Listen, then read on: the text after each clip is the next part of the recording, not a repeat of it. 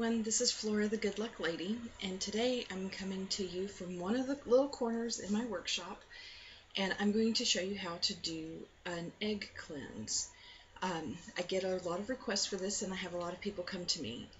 These cleanses are done whenever someone feels like they've been jinxed or they're having a run on bad luck.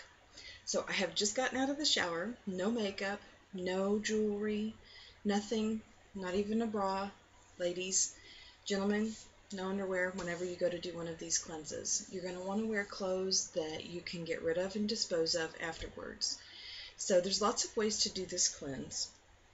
Um, one of the ways that my family uses is a lodestone, and a lot of people don't think about a lodestone in doing a healing process, but it, it'll work the same as an egg, except that at the end I won't be cracking it. I'll be burying it outside. So a lot of my Rom family they use this as um, a cleansing tool. So it's usually kept on a little dish that belongs to the family that's been passed down, and then the stone gets buried. And you can't forget where you bury it because you reuse it, but it has to stay buried for one cycle of the moon. So that's one of the cleanses. But today I'm going to teach you a traditional method I learned whenever I was working with the Curandera in um, Texas.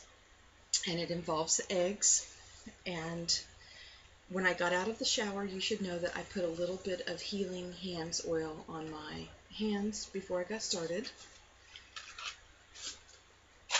Typically, I light a white candle to hold the positive energy in the room while I'm doing this work. If I can get it to light today.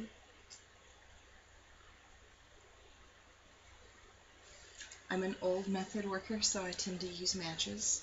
So it's a form of sustainable energy. I, I think that's part of it. So basically to get started, move that out of the way because I'll burn myself. You're going to want a glass of water and you're going to want at least a couple of eggs. Depending on how sick you may feel or how jinxed, you'll notice over time that the eggs absorb a lot of the energy and become very heavy. Then you can move to the next egg. You don't have to use the same egg for the whole thing. I know there's healers out there that may argue that, but I've I've just never seen it done. If there needs to be another egg used, then another is used. So you begin by saying a prayer in the religious faith that is most connected to you, and you center yourself. And so for me, it's Holy Mother, in whom I move, live, and have my being. From you, all things emergent unto you, they must return. And I feel myself settle. So I'll pick the first I'll pick both of the eggs up. I take them and I blow into them.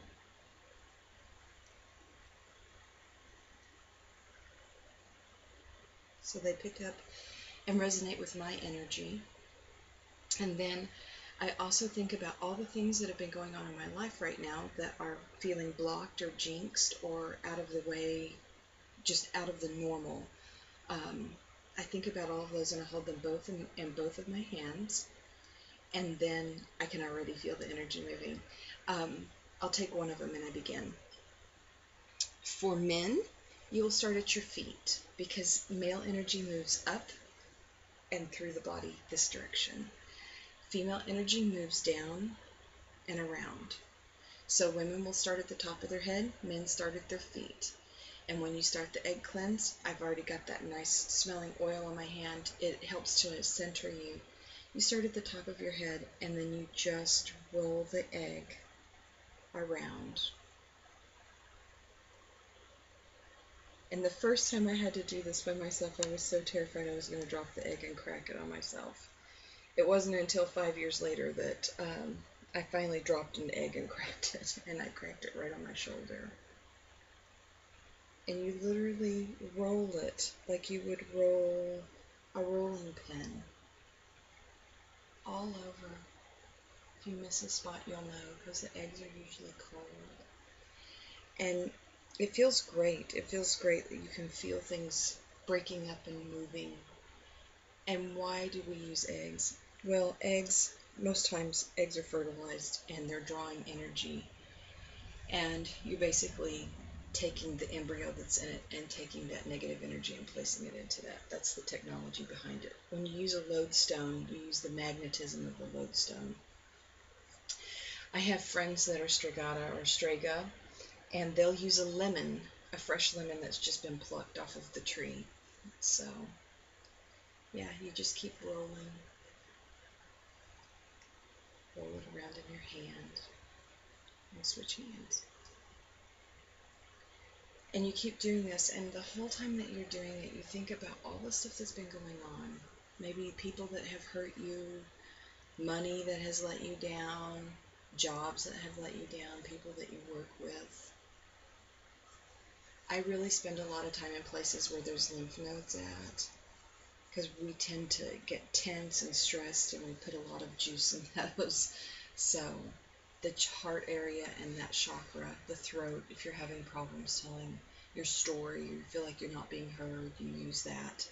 So make sure that you roll it around. When you get to your heart space, really roll around. Ladies, don't be afraid to touch your boobs. Gentlemen, don't be afraid to touch the, part, the spaces in between your legs, okay? Because that energy's there. And you're going to want to soak all of it up. If you have a lot of problems with your belly, you're going to want to really rub it on your belly. Now for your back, it's hard to reach your back. So you roll back and forth very gently. This is where I dropped the egg um, a couple of years later. And you can even move it into this space. So when you get to right around your hip, you may feel like it's time to change because the egg is very heavy. When you're ready to change eggs, you'll crack the egg and drop it in the water. A lot of people read what's in the water and um, the fallings of the egg. And actually, I do have I have something that I should probably tend to. So yeah. Okay, so then you're gonna roll and when I say there's something I should tend to, it indicates I have a large white spot in there, inside there. So I have been uh, working on a healing on myself. So it's clear that it's still working.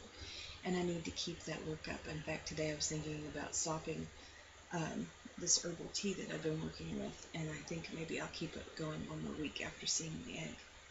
So make sure you get the backs of your legs. I tend to roll my eggs this way so that I make sure I cover all of my leg.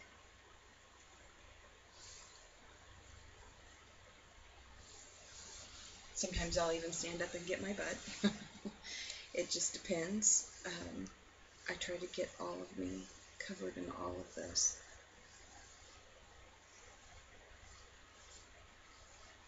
I can already feel the energy breaking up around me. And I didn't have a lot of negativity going on in my life. I'm pretty clean most of the time because of the way that what I do for my my vocation and my work. Anyway,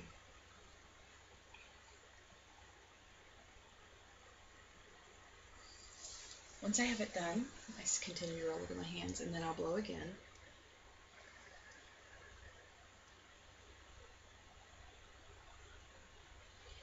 And then I'll crack this egg as well.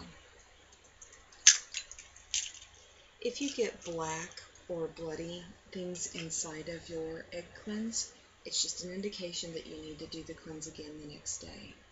It's nothing to be afraid of. Hollywood makes these images and movies to terrify us and to get us all riled up. If you have blood come out in an egg, or you have the black stuff come out in an egg, or the egg is completely gray when it goes into the water, you just need to do the cleanse again. And you'll do it until you have a clear egg go through. Okay?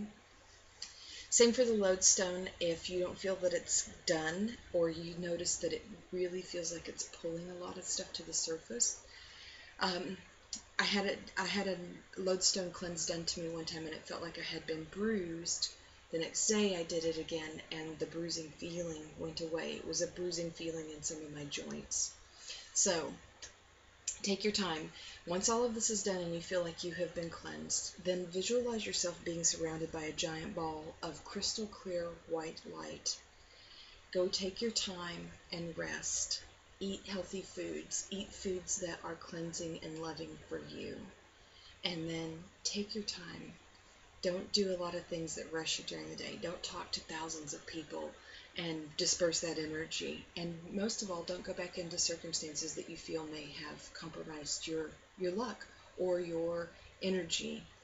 work on becoming a healthier energy body all the way around. So I hope this helps those of you guys that are working. Remember, you can use a lodestone, a lemon, or eggs.